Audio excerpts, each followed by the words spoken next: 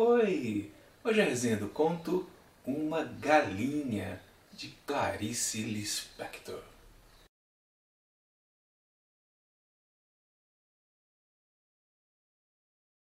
Uma certa galinha estava preparada para o almoço de domingo.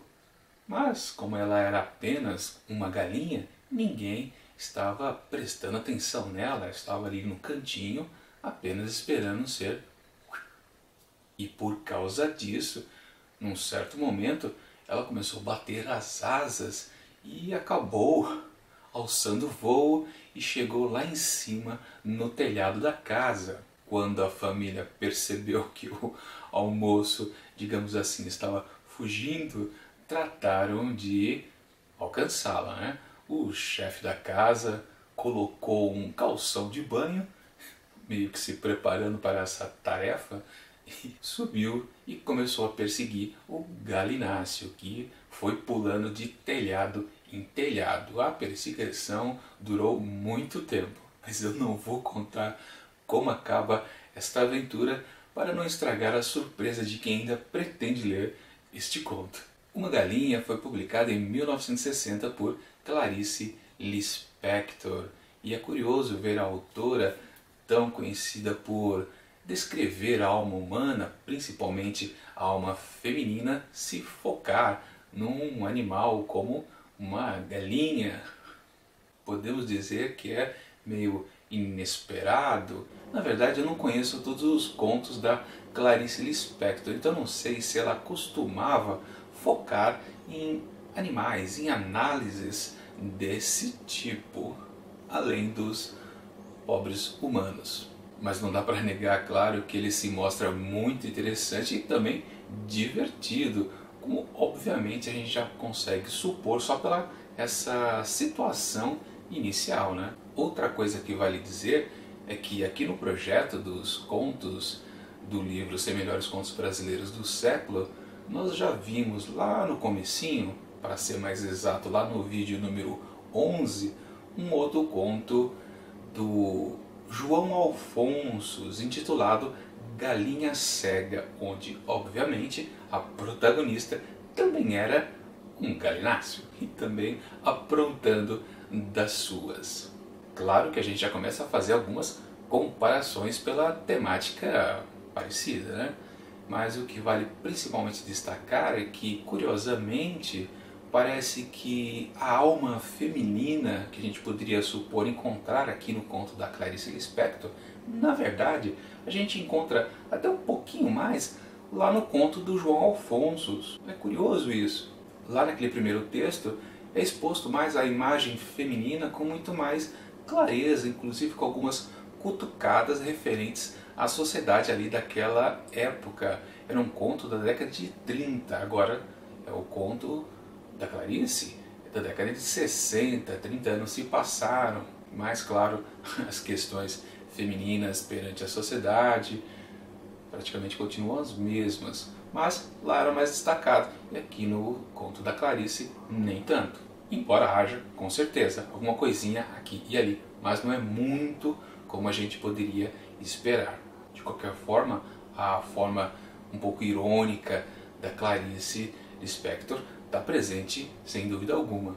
Claro que eu não toquei no ponto ali da história que há uma mudança é, significativa daquela situação, não fica só nesta correria em cima dos telhados ali do bairro. Né? Acontece uma boa mudança que aí sim tem a ver com a visão da Lispector. Agora já pulando lá para o final do texto, que claro eu não vou dizer como ele acaba, mas lá na última frase há uma indicação de passagem de tempo bem marcante, praticamente a última frase mesmo do conto, que deixa transparecer como no final das contas tudo é o que sempre foi. Mesmo que a gente esteja tratando ali de uma galinha, no fundo há encobertamente uma noção para os pobres seres humanos. Os costumes não acabam mesmo que uma mudança possa ocorrer por causa de um efeito, um acontecimento inesperado, tudo volta ao normal depois. Né?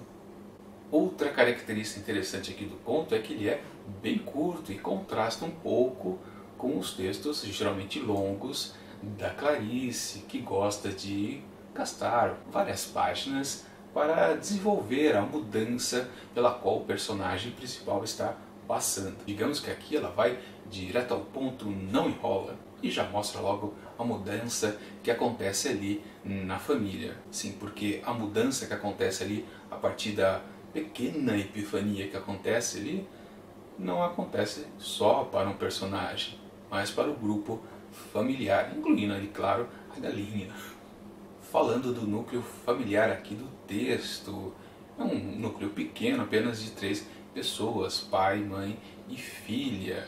A mãe, mais uma vez, mais tradicional, tentando seguir as normas, um pouco sem paciência, e a filha naquelas de ser mais contestadora e opa, podemos mudar um pouco as regras. Bom, e o homem é o estabanado que subiu ao telhado. Minha avaliação do conto. É claro que me diverti, gostei bastante desse conto bem humorado da Clarice Lispector. Como eu disse antes, foi um pouco inesperado esse bom humor dela e não tão focado nos seus assuntos mais queridos. Agora voltando lá na comparação que eu estava fazendo com o texto do João Alfonso, o Galinha Cega, eu reclamei lá naquela resenha que ele não foi ao fim das coisas que ele propôs, ele até falava, não, agora aconteceu alguma coisa, não acontecia. Digamos que ele prometeu e não cumpriu. Já aqui no texto da Clarice, o êxito eu acho que foi total, não tenho o que reclamar. Mesmo que eu até estranhe a falta daquela característica importante dos textos dela, da epifania. Não há uma grande situação epifânica, mas, claro, também há, por causa de uma nova situação da galinha, depois que ela é capturada. Mas é pouco, né? Mesmo porque quem muda um pouco não é exatamente a galinha em si. Em todo caso, não tenho o que reclamar. Então, a minha nota para uma galinha é 5 asteriscos. Bom, é isso. Amanhã a gente continua com mais uma resenha dos 100 melhores contos brasileiros do século. Enquanto isso, curta esse vídeo e assine o canal. Isso vai ajudar bastante para que o Mantado de Livros cresça mais um pouco. E até mais.